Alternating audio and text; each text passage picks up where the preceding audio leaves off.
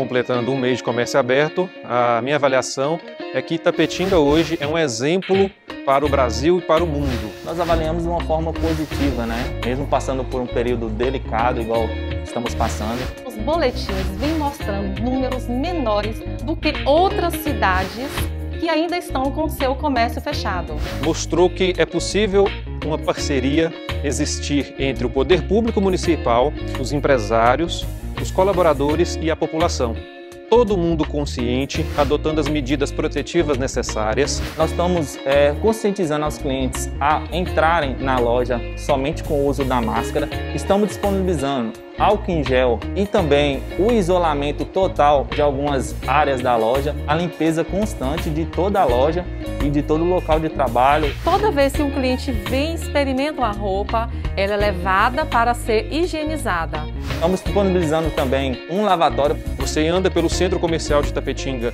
e percebe que todo mundo está usando máscaras. E com o nosso comércio aberto, a gente consegue manter os empregos e ainda pagar as nossas contas, mesmo que devagar, mas a gente consegue.